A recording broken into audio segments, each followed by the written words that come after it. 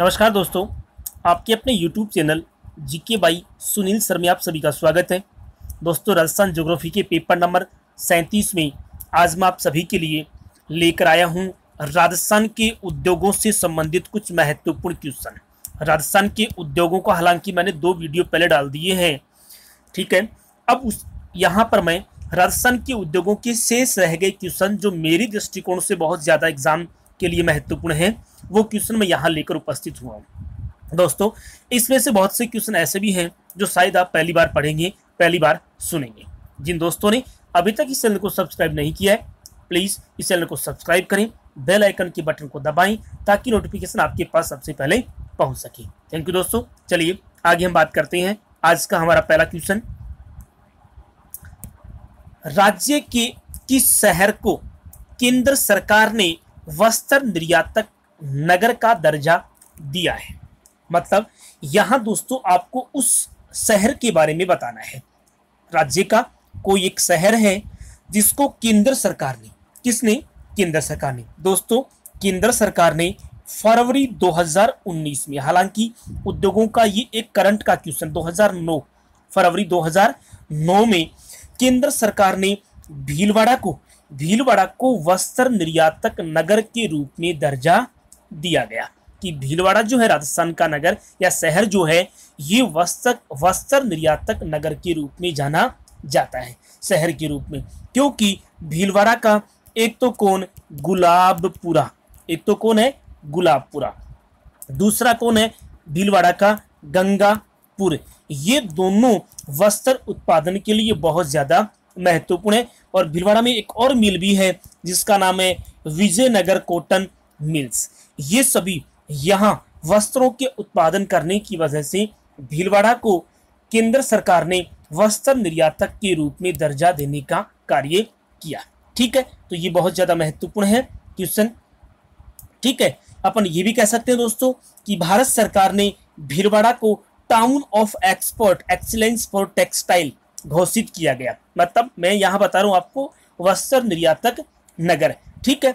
लेकिन अगर इंग्लिश में भी ये आ सकता है, इंग्लिश में आ सकता है, town of export, town of ex, export, excellence for textiles, excellence for a textiles के रूप में भीलवाड़ा को केंद्र सरकार ने दर्जा दिया, ठीक है? इसीलिए भीलवाड़ा को कहा जाता है राजस्थान का मैनचेस्टर। क्या कहा जाता है? राजस्थान का मैनचेस्टर या फिर भीलवाड़ा को कहा जाता है? राजस्थान की वस्त्र नगरी। क्या कहा जाता है? वस्त्र नगरी। दोस्तों, मेरा यही तरीका है क्वेश्चन एक और उसमें अनेकों क्वेश्चनों के बारे में समझाना ताकि आपकी तैयारी ज़्यादा से ज़्यादा अच्छी हो सके। मैंने आपसे वादा किया था, ज्योग्राफी में आपको और कहीं जाने की आवश्यकता नहीं है। मैं पूरी ज्योग्राफी के क्वेश्चन जो है वो आपको समय समय पर तैयार करवा दूँगा। चलिए, अगला क्वेश्चन है राजस्थान टेक्सटाइल्स मिल्स भवानी मंडी, झालावाड़ की स्थापना कब की गई? दोस्तों, ये एक वस्त्र मिल, टेक्सटाइल मिल्स है जो भवानी मंडी नामक स्थान पर कौन से ज़िले में स्थित है? झालावाड़ ज़िले में स्थित है। ठीक है, इस कंपनी की स्थापना कब हुई? राजस्थान टेक्सटाइल मिल्स ये जो मिल है, इस मिल की स्थापना, झालावाड़ वाली मिल की जो स्थापना है, वो कब हुई है? तो ये हुई है उन्नीस सौ अड़सठ में, कि राजस्थान टेक्सटाइल्स मिल्स जो कहाँ स्थित है? भवानी मंडी, झालावाड़ में स्थित है। इसकी स्थापना कब की गई? उन्नीस सौ अड़सठ में की गई। अगला क्वेश्चन ऊन विकास के लिए एशिया का सबसे बड़ा अनुसंधान केंद्र राज्य में निम्न में से कहा खोला गया? किसके लिए? भेड़ों की ऊन के विकास के लिए। एशिया महाद्वीप का सबसे बड़ा, क्या कह सकते हैं अपन? ऊन अनुसंधान केंद्र कह सकते हैं। क्या कह सकते हैं? ऊन अनुसंधान केंद्र, जो राज्य का ही नहीं, भारत का ही नहीं, एशिया महाद्वीप का सबसे बड़ा अनुसंधान केंद्र होगा, वो कहाँ होगा? तो दोस्तों, वह होगा टोंक में। और टोंक में कहाँ पर होगा? अविका नगर।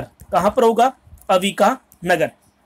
दोस्तों, जब अपन राजस्थान के पशुधन में भेड़ पालन के बारे में पढ़ते हैं, किसके बारे में? भेड़ पालन के बारे में पढ़ते हैं, तब भी अविका नगर टोंक का नाम आता है। और ये भेड़ की ऊन के विकास के लिए एशिया का सबसे बड़ा अनुसंधान केंद्र कहाँ खोला गया?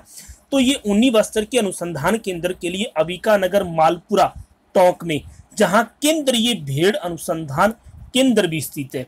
यहाँ पर क्या है? केंद्रीय केंद्रीय भेड़ अनुसंधान केंद्र भी है और केंद्र, यहाँ ऊन का अनुसंधान केंद्र भी स्थित है तो अबिका नगर टोंक। ऑप्शन में टोंक नहीं आकर अबिका नगर भी आ सकता है। भैया, मैंने यहाँ दिया है ज़िले का नाम। टोंक दे दिया। ठीक है? चलो दोस्तों, अगला क्वेश्चन निम्न में से शार्दुल टेक्सटाइल्स लिमिटेड मिल्स, ये एक कंपनी, मिल का नाम, कारखाने का नाम, कहाँ स्थित है? ये चार अपने पास ऑप्शन है। Shardul textiles limited mills Sri Ganganagar में स्थित है। कहाँ स्थित है? श्री गंगानगर में स्थित है। दोस्तों, इस मिल की स्थापना कब हुई थी? 1946 में। कब हुई है? शार्दुल टेक्सटाइल्स लिमिटेड मिल्स की स्थापना 1946 में राजस्थान के श्री गंगानगर ज़िले में हुई है। ठीक है, अगला क्वेश्चन राज्य में राज्य में निम्न में से कहा सेंट गोबेन ग्लास फैक्ट्री स्थित है? देखिए, दोस्तों, इसके एक सिमकोर ग्लास फैक्ट्री इंडस्ट्री का नाम भी आता है, लेकिन मैंने यहाँ शर्त दे दी है। सेंट गोबेन ग्लास फैक्ट्री का नाम दे दिया। कि और कोई नहीं, सेंट गोबेन ग्लास फैक्ट्री निम्न में से कहाँ स्थित है? ठीक है तो दोस्तों, ये कहाँ स्थित है? ये भिवाड़ी अलवर में स्थित है। सेंट गोबेन सेंट गोबेन जो है, ये दोस्तों फ्रांस की एक कंपनी है। कौन से देश की है? ये फ्रांस की एक कंपनी है, जिसने 25 अगस्त 25 अगस्त 2010 को 25 अगस्त 2010 को एक स्थान है भिवाड़ी के नज़दीक ही जिसका नाम है कहरानी क्षेत्र। कौन सा क्षेत्र है? कहरानी क्षेत्र, भिवाड़ी, अलवर में सेंट गोबेंस ग्लास फैक्ट्री की स्थापना की गई। ये एक फ्रांस की प्रसिद्ध ग्लास निर्माता कंपनी है, जिसने राज्य सरकार के साथ एक करार करके अलवर के, भिवाड़ी के कहरानी क्षेत्र में इसका कारखाना खोला गया। तो वह कौन है? Saint Gobain glass factory.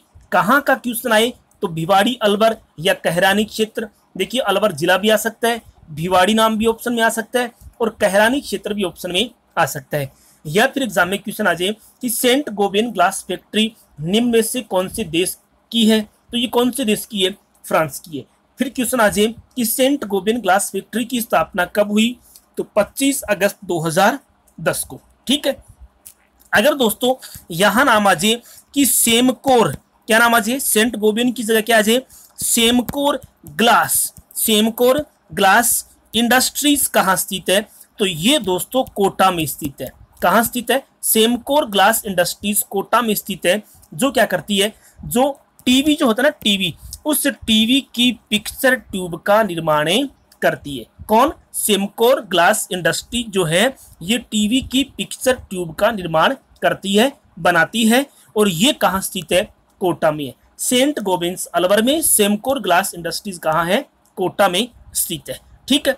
अगर क्वेश्चन आ जाए दी हाईटेक, क्या नाम आ जाए? दी दी हाईटेक प्रसीजन, क्या नाम आ जाए? Precision precision glass works, glass से वर्क्स नाम आ जाए। तो दोस्तों, यह कारखाना कहाँ स्थित है? ये धौलपुर में स्थित है। क्या नाम आ जाए? The hitech precision glass works कहाँ का कारखाना कहाँ स्थित है? तो ये कहाँ स्थित है? धौलपुर में स्थित है। और दोस्तों, यह कारखाना सार्वजनिक क्षेत्र का है। कौन से क्षेत्र का है? ये सार्वजनिक क्षेत्र का कारखाना स्थित है।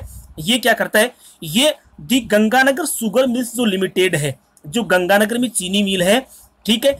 ये उस कारखाने के लिए बोतलें बनाने का, बीकर्स बनाने का फ्लास्क बनाने का काम करती है the hitech precision glass works Dholpur. कैसी है? सार्वजनिक क्षेत्र दोस्तों, क्षेत्रक ये तीन प्रकार के होते हैं। जैसे नाम आता है क्या? कि स्वामित्व के आधार पर उद्योगों के प्रकार।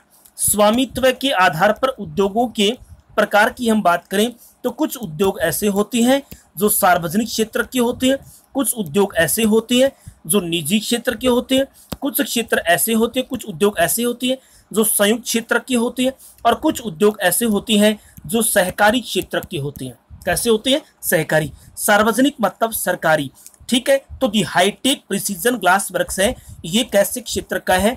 सार्वजनिक क्षेत्र का है। कभी कभी एग्ज़ाम में क्वेश्चन ये भी आ जाता है। कि निम्न में से सार्वजनिक क्षेत्र का कारखाना है तो ग्लास वर्क्स में आता है तो the hitech precision glass work जो है, ये सार्वजनिक क्षेत्र का कारखाना है। ठीक है? चलिए, अगला क्वेश्चन है। निम्न में से किस ज़िले में भविष्य में सर्वाधिक सीमेंट उत्पादन की संभावना है? यहाँ आपको ये सर्च करना है दोस्तों, ढूंढना है कि भविष्य में, वर्तमान समय की बात नहीं हो रही है आगे आने वाले समय में निम्न में से कौन से ज़िले में सीमेंट के सर्वाधिक उत्पादन की संभावना है? तो दोस्तों, वह कौन सा जिला है? जैसलमेर है। कौन सा है? जैसलमेर है। हालाँकि अगर हम बात करें तो वर्तमान समय में चित्तौड़गढ़ जिला जो है, महत्वपूर्ण सीमेंट उत्पादक जिला है। लेकिन भविष्य की बात करें तो नाम किसका आता है?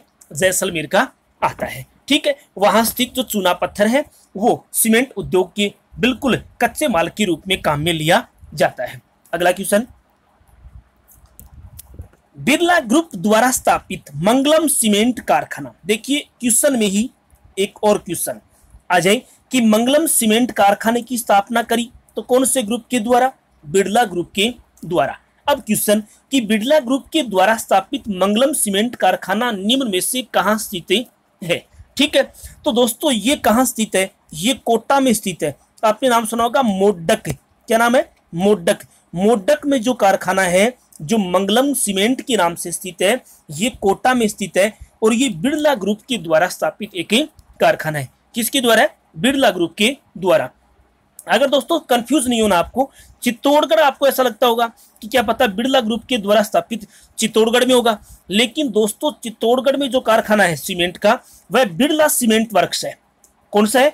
Birla Birla cement cement works कारखाना। कहाँ स्थित है तो नाम आएगा चित्तौड़गढ़। लेकिन बिरला ग्रुप के द्वारा स्थापित मंगलम सीमेंट का पूछा जाए तो मोडक कोटा। मोडक क्या है? कोटा है। ठीक है? तो ये बात आपको यहाँ ध्यान रख रही है।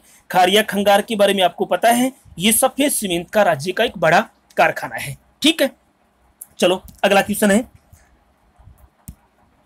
राज्य में जस्ते के खनन व परिशोधन हेतु, सीसा जस्ता, दोस्तों आपने नाम सुना होगा। एक महत्वपूर्ण खनिज है, सीसा जस्ता। तो जस्ते के खनन और परिशोधन के लिए, परिशोधन मतलब उसकी साफ़ सफ़ाई का कार्य। हेतु कारखाना हिंदुस्तान जिंक लिमिटेड नामक कारखाना स्थित है, कि निम्न में से कहाँ स्थित है? ठीक है?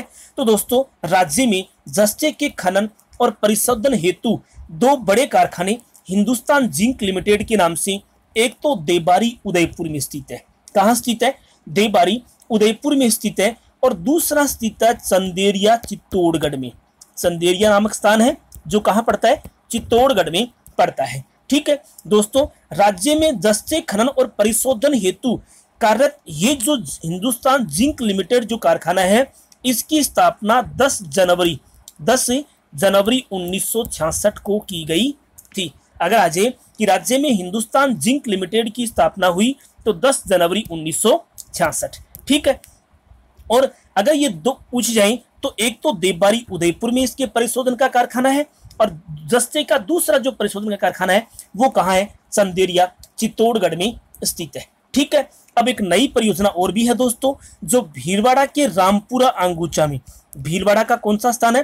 रामपुरा रामपुरा आंगूचा क्षेत्र है, वहाँ पर ये अपना तीसरा उपक्रम स्थापित करेगा। दो तो एक तो देवारी उदयपुर में दूसरा चंदेरिया चित्तौड़गढ़ में। और अगर तीसरा पूछ जाए तो भीलवाड़ा ज़िले के रामपुरा अंगूचा में ये क्या करेगा? ये हिंदुस्तान जिंक लिमिटेड एक नई परियोजना, एक नया वहाँ काम करेगा। ठीक है तो इस तरह से तीन वर्तमान समय की बात करें तो दो, देवारी, उदयपुर और चंदेरिया चित्तौड़गढ़। अगला क्वेश्चन है, हिंदुस्तान कोपर लिमिटेड झुंझुनू खेतड़ी में है झुंझुनू के कहा स्थित है? खेतड़ी में। कारखाने की स्थापना अमेरिका की निम्न से कौन सी कंपनी की द्वारा की गई? अब देखो, क्वेश्चन में दूसरा क्वेश्चन है। हिंदुस्तान कॉपर लिमिटेड राज्य में स्थित है तो खेतड़ी झुंझुनू में। ठीक है, उसके बाद में हिंदुस्तान कॉपर लिमिटेड कौन से देश देश के सहयोग से तो कौन सा देश है? कंपनी कौन से देश की है? अमेरिका की। यहाँ पूछा कंपनी का नाम, कि वह कंपनी जो अमेरिका की है, जो हिंदुस्तान कॉपर लिमिटेड खेतरी झुंझुनू में कार्य कर रही है तो वह कौन सी है? तो वह western Knapp engineering company western Knapp engineering company ये कहाँ की है? ये अमेरिका में है। अमेरिका की है और राज्य के हिंदुस्तान कॉपर लिमिटेड खेतरी झुंझुनू में तांबे के खनन का कार्य या उससे संबंधित कार्य करती है। ठीक है? दोस्तों, ये अपने आप देखिए कितने क्वेश्चन एक साथ हो गए। Hindustan copper limited Khetri Jhunjhunu. अगला क्वेश्चन आ जाए कि ये कौन से देश की? अमेरिका की। कंपनी का नाम वेस्टर्न नेट इंजीनियरिंग कंपनी। ठीक है? चलो, आगे बात करते हैं। देखिए, अगर ये पूछा है तो हिंदुस्तान मशीन टूल्स अजमेर में है। इंडोकोल्ड कंपनी बांसवाड़ा में सोने के खनन का कार्य करती है। क्लिप निक्सन जो कंपनी है, वो सीमेंट के लिए इसका नाम है आता है। चलिए, अगला question. Hindustan machine tools Ajmer. अगर राज्य के संबंध में पूछा जाए कि हिंदुस्तान मशीन टूल्स कहाँ स्थित है? तो हिंदुस्तान मशीन मशीन टूल या एच एम टी आ सकता है। शोर्ट में नाम क्या सकता है? H M T Hindustan machine tools कहाँ है? अजमेर में। ठीक है? ये अजमेर कंपनी की स्थापना निम्न में से किस देश के सहयोग से की गई?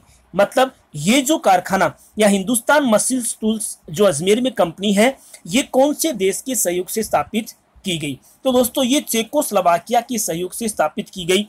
कब की गई? ये कंपनी उन्नीस में स्थापित की गई। कब की गई? उन्नीस में। ये क्या करती है? ये एच की घड़िया नाम आप घड़िया समय देखने के काम आती है। वो एचएमटी की घड़िया बनाने, मशीनरी, ग्राइंडिंग मशीनों का क्या करती है? निर्माण करती है, बनाती है। ठीक है? मतलब दोस्तों, ये अगर पूछ लिया जाए कि हिंदुस्तान मशीन अजमेर जो है ये भारत में संख्या के हिसाब से कौन सी है? तो ये चठी है। कौन सी है? चठी इकाई थी, जो 2017 के बाद क्या है? बंद है। अब ये कार्य करना इसने बंद कर रखा है। 2017 में इसमें, इसने काम करना क्या कर दिया था? बंद कर दिया था। इसके अलावा, राजस्थान इस कंपनी के अलावा भारत में पाँच और स्थानों पर एच के कुछ कारखाने स्थापित हैं या स्थित हैं। चलिए अगला क्वेश्चन राजस्थान राज्य वित्त निगम की स्थापना कब हुई? राजस्थान राज्य। देखिए दोस्तों, राजस्थान राज्य वित्त निगम, पहले आपको ये पता होना चाहिए कि राजस्थान राज्य वित्त निगम है क्या। ठीक है तो ये दोस्तों क्या है? ये उद्योगों को उद्योगों को क्या करती है? उद्योगों को वित्तीय सुविधाएँ उपलब्ध करवाने के लिए, उद्योगों को वित्तीय सुविधाएँ उपलब्ध करवाने के लिए सन 1955 में राजस्थान राज्य वित्त निगम की स्थापना की गई। ठीक है? ये अकेला भी आ सकता है कि राज्य वित्त निगम की स्थापना 1955 में, या फिर आ सकता है कि राजस्थान राज्य वित्त निगम की स्थापना क्यों की गई? तो उद्योगों को वित्तीय सुविधाएँ उपलब्ध करवाने के लिए, ठीक है? उद्योगों को वित्तीय सुविधाएँ उपलब्ध करवाने के लिए सन 1955 में राजस्थान राज्य वित्त निगम की स्थापना की गई, जिसका वर्तमान में जो मुख्यालय है, वो कहाँ स्थित है? वो जयपुर में स्थित है। कहाँ स्थित है? जयपुर में स्थित है। ठीक है? चलिए अगला question Rajasthan state chemical works Didwana में देखो, पहला, अगर क्वेश्चन आ जाए कि राजस्थान स्टेट केमिकल वर्क स्थित है तो कहाँ स्थित है? डीडवाना में की स्थापना कब हुई? तो दोस्तों, इसकी स्थापना सन उन्नीस में की गई है। वैसे, इससे संबंधित राज्य में राज्य में चार इकाइयाँ कार्य कर रही है। कितनी इकाइयाँ कार्य कर रही है? इससे संबंधित राज्य में चार इकाइयाँ काम कर रही है। तो राजस्थान स्टेट केमिकल्स वर्क से डीडवाना ठीक है? ये भी अपने आप में बहुत ज़्यादा महत्वपूर्ण है। ऐसे क्वेश्चन का समय या तिथि या सन के बारे में पूछा जा सकता है। ठीक है? चलो, अगला क्वेश्चन है। निम्न में से राजस्थान के किस शहर को राजस्थान का स्कॉटलैंड कहा जाता है? अपने आप में बहुत ज़्यादा महत्वपूर्ण क्वेश्चन है दोस्तों कि निम्न में से कौन से, राजस्थान के कौन से शहर को राजस्थान का स्कॉटलैंड कहा जाता है? देखिए दोस्तों, अलवर जो है, अलवर को राजस्थान का स्कॉटलैंड की संज्ञा दी गई है। किसको? अलवर ज़िले को। क्यों दी गई है? तो देखिए दोस्तों, वर्तमान में अलवर जो ज़िले है, अलवर जिला है, उस अलवर ज़िले में शराब के सबसे ज़्यादा कारखाने हैं। शराब के सबसे अधिक कारखाने होने के कारण, सबसे अधिक कारखाने होने के कारण राजस्थान के अलवर ज़िले को राजस्थान का स्कॉटलैंड कहा जाता है। ठीक है? शराब फैक्ट्रियों के कारण। किनके कारण? शराब फैक्ट्रियों की संख्या अधिक होने के कारण। और राज्य में सर्वाधिक शराब की जो फैक्ट्रियाँ हैं, वो अलवर ज़िले में है। इसलिए इसे राजस्थान का स्कॉटलैंड कहा जाता है। ठीक है? नेक्स्ट क्वेश्चन अगला क्वेश्चन दोस्तों। राज्य में सीमेंट का पहला कारखाना निम्न में से कौन से स्थान पर खोला गया? ये भी अपने आप में एक बहुत महत्वपूर्ण क्वेश्चन है। और कई बार पहले एग्ज़ाम में पूछा भी जा चुका है कि राज्य में सीमेंट का पहला कारखाना इनमें से कौन से स्थान पर खोला गया? तो दोस्तों, राज्य में सीमेंट का पहला जो कारखाना, देखिए, सफ़ेद सीमेंट की शर्त नहीं दी है यहाँ पर। केवल क्या पूछा है? केवल सीमेंट के बारे में पूछा है। राज्य में पहला सीमेंट का कारखाना सन 1912-13 में लाखेरी बूंदी में किस कंपनी के द्वारा, क्लिक क्लिक निक्सन कंपनी के द्वारा, किसके द्वारा? क्लिक निक्सन कंपनी के द्वारा राज्य में पहला सीमेंट का कारखाना खोला गया। अगर एग्ज़ाम में क्वेश्चन आ जाए कि राज्य में पहला सीमेंट का कारखाना कब खोला गया तो सन उन्नीस सौ में। ठीक है, कहाँ खोला गया? लाखेरी, बूंदी में। कौन सी कंपनी के द्वारा? तो क्लिक डिक्सन कंपनी के द्वारा। ठीक है, चलिए अगला क्वेश्चन। भारत का पहला सफ़ेद सीमेंट का कारखाना कौन सा है? ठीक है, भारत का पहला, देखिए राजस्थान के नहीं, भारत का पहला सफ़ेद सीमेंट का कारखाना। दोस्तों, भारत का पहला सफ़ेद सीमेंट का कारखाना गोटन नागौर में सन उन्नीस सौ चौरासी में स्थापित किया गया। और ये भारत का पहला सीमेंट का कारखाना है। और सीमेंट के कारखाने का नाम क्या है? जे के वाइट वाइट का मतलब क्या है? सफ़ेद वाइट सीमेंट कारखाना। जेके व्हाइट सीमेंट कारखाना गोटन नागौर। और ये जेके व्हाइट सीमेंट कारखाना ही भारत का पहला सफ़ेद सीमेंट का कारखाना है। जिसकी स्थापना सन उन्नीस सौ चौरासी में की गई। ठीक है, हालाँकि भोपालगढ़ जोधपुर है, ये भी सफ़ेद सीमेंट का ही कारखाना है, लेकिन पहला नहीं है। खारिया खंगार जोधपुर में है, ये भी सफ़ेद सीमेंट का कारखाना है और ये राज्य का सबसे बड़ा सफ़ेद सीमेंट के कारखाने के रूप में पहचान रखता है। ठीक है? तो ये क्वेश्चन दोस्तों बहुत ज़्यादा महत्वपूर्ण है। बिल्कुल इसका ध्यान रखें भारत का पहला सफ़ेद सीमेंट का कारखाना गोटन नागौर में, जेके व्हाइट सीमेंट का कारखाने के नाम से खोला गया, कब? सन उन्नीस सौ चौरासी में। ठीक है? अगला क्वेश्चन। निम्न में से कहा टायर ट्यूब बनाने का कारखाना स्थित है? बिल्कुल कंफ्यूज करने वाला क्वेश्चन। ठीक है? निम्न में से कहा टायर ट्यूब बनाने का कारखाना स्थित है? अब आपको दिख रहा होगा। आपको तो सीधा राजसमंद दिखता है। कांकरोली नाम दिखता है, ठीक है? लेकिन मैं आपका कंफ्यूज दूर कर देता हूँ। राजसमंद के कांकरोली में कौन सा? राजसमंद का कौन सा स्थान है? कांकरोली।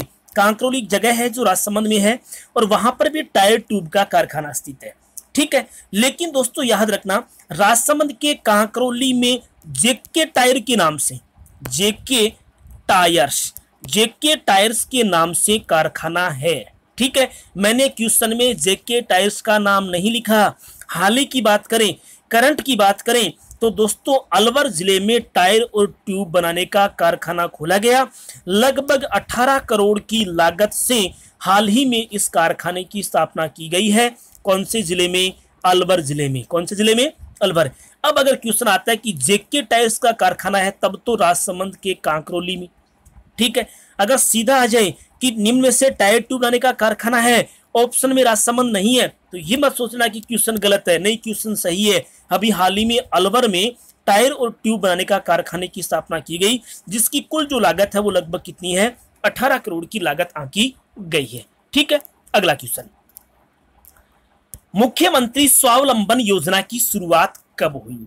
ये भी अपने आप में एक बहुत ज़्यादा महत्वपूर्ण क्वेश्चन है, मुख्यमंत्री स्वावलंबन योजना। मुख्यमंत्री स्वावलंबन योजना की शुरुआत दोस्तों 2013 में होती है। कब होती है? 2013 में। 2013 में मुख्यमंत्री स्वावलंबन योजना की शुरुआत हुई है। इसके तहत क्या किया? दोस्तों, ये राज्य सरकार के द्वारा चलाई गई एक योजना है। किसके द्वारा? राज्य सरकार के द्वारा। कि राज्य सरकार के द्वारा नीतिगत दस्तावेजों में निहित संकल्पनाओं की जो घोषणा है उसमें कुशल श्रमिक, हस्तशिल्प, दस्तकार, प्रशिक्षित, बेरोजगार युवकों को कम ब्याज पर ऋण की सुविधाएँ उपलब्ध करवाने पर ज़ोर दिया गया। इसी के इसी के उपलक्ष्य में सन 2013 में मुख्यमंत्री स्वावलंबन योजना का प्रारंभ किया गया। ठीक है तो कब 2013 में? चलिए, अगला क्वेश्चन राजस्थान उद्योग व खनिज विकास निगम लिमिटेड की स्थापना कब हुई? ये क्वेश्चन भी अपने आप में बहुत ज़्यादा महत्वपूर्ण है कि राजस्थान उद्योग और खनिज विकास निगम लिमिटेड। दोस्तों, हम उसको ये भी कह सकते हैं कि रिको का नाम आपने सुना होगा, ठीक है?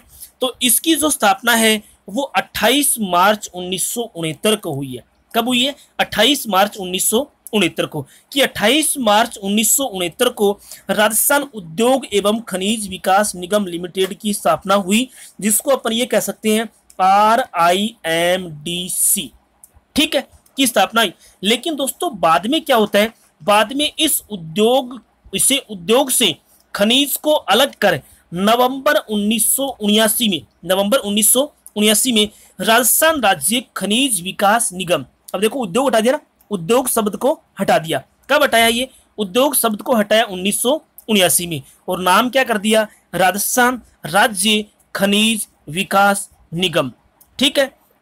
और अलग से अलग से एक साल बाद 1980 में राजस्थान राज्य औद्योगिक विकास विनियोग लिमिटेड की स्थापना कर दी गई, जिसको अपन क्या कहते हैं?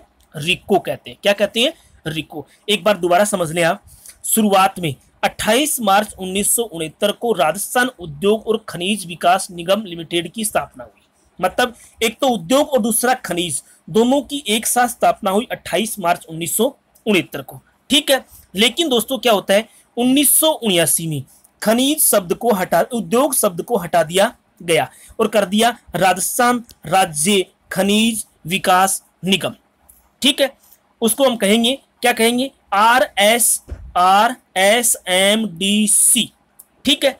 लेकिन जनवरी 1980 में अब उद्योग शब्द जो हटाया था, उसके लिए एक नया विभाग गठित करना है। इसके लिए क्या किया गया?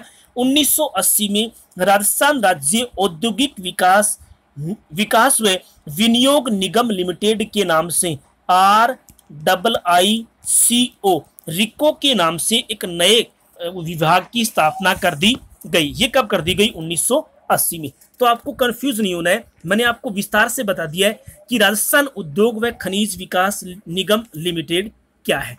ठीक है? ये कब अलग अलग हुआ, कब इसका गठन हुआ और कौन कौन से इससे संबंधित क्वेश्चन पूछे जा सकते हैं। चलिए, अगला क्वेश्चन है। निम्न में से कहा निर्यात? देखिए थोड़ा सा यहाँ मिस्टेक हुआ है। ये शब्द निर्यात है। ये शब्द क्या है? निर्यात है। निम्न में से कहा, निर्यात संवर्धन औद्योगिक पार्क नहीं है। कि इनमें से कौन सा स्थान ऐसा है जहाँ पर निर्यात संवर्धन औद्योगिक पार्क नहीं है? जिसको अपन ये भी कहते हैं ई पी आई पी ये कहाँ स्थित नहीं है? इनमें से कौन से स्थान पर स्थित नहीं है? तो दोस्तों, आपको पता होगा, राज्य में निर्यात संवर्धन औद्योगिक पार्कों की संख्या है चार। कितनी है? चार है। ठीक है? सीतापुरा जयपुर में दो है। एक सीतापुरा जयपुर है, जिसमें मैंने सीतापुरी किया है ऑप्शन में कहीं मिस्टेक नहीं हो।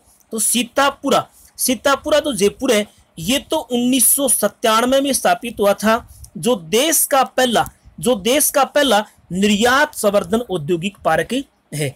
दूसरा सीतापुरा जयपुर, तीसरा बोरनारा बोरनाड़ा जोधपुर, और चौथा जो है, वो था नीमराना अलवर। जो कहाँ है? नीमराना अलवर में स्थित है। ये चार है राज्य में निर्यात संवर्धन औद्योगिक पार्क इसमें से कौन सा खुशखेड़ा अलवर में निर्यात संवर्धन औद्योगिक पार्क स्थित नहीं है? ठीक है, ये ऑप्शन हमारा सही होगा यहाँ पर, क्योंकि यहाँ पूछा गया है कि निम्न में से नहीं है तो कौन नहीं है? खुशखेड़ा अलवर नहीं है, बोरनाड़ा भी है, सीतापुरा जयपुर भी है। एक सीतापुरा जयपुर जो पहला है, उन्नीस सौ सत्तानवे में जिसकी स्थापना की गई थी और ये देश का पहला, ये देश का क्या है? पहला निर्यात संवर्धन औद्योगिक पार्क है। ठीक है? दोस्तों, आज का लास्ट क्वेश्चन कितना अपने आप में महत्वपूर्ण क्वेश्चन है कि जापान की तरह अब दक्षिणी कोरिया उद्यमियों के लिए, पहले जापान के लिए बनाया था ठीक है? अब जापान की तर्ज पर ही दक्षिणी कोरिया के उद्योगपतियों को आकर्षित करने के लिए राज्य में कोरिया जोन विकसित किया गया। कौन सा जोन विकसित किया गया? Korea zone. ये निम्न में से कहा स्थापित किया गया? निम्न में से कौन से स्थान पर यह जोन स्थापित किया गया है? तो दोस्तों, ये किया गया घिलोट। और घिलोट कहाँ है? अलवर में, जो नीमराणा के निकट है। जो किसके निकट है? नीमराणा घिलोट नीमराणा अलवर में जापान की तरह ही दक्षिणी कोरिया के उद्यमियों को आकर्षित करने के लिए कोरिया जोन विकसित किया गया। ठीक है, दोस्तों, ये कोरिया जोन कब विकसित किया गया? ये 11 मार्च 2013 को दिल्ली में रिको की ओर से, रिको की कंपनी का एक एमडी था, नवीन महाजन, और दक्षिणी कोरिया की व्यापारिक संवर्धन एजेंसी कोटरा जिसे कहा जाता है। क्या कहा जाता है? ये दक्षिणी कोरिया की कंपनी का नाम है दक्षिणी कोरिया व्यापार संवर्धन एजेंसी। एक तो कोटरा और एक रिको का प्रमुख था एमडी जिनका नाम था नवीन महाजन। इन दोनों के मध्य समझौता हुआ कब? 11 मार्च 2013 को। ठीक है, एम एमओयू हुआ, इसके मध्य समझौता हुआ।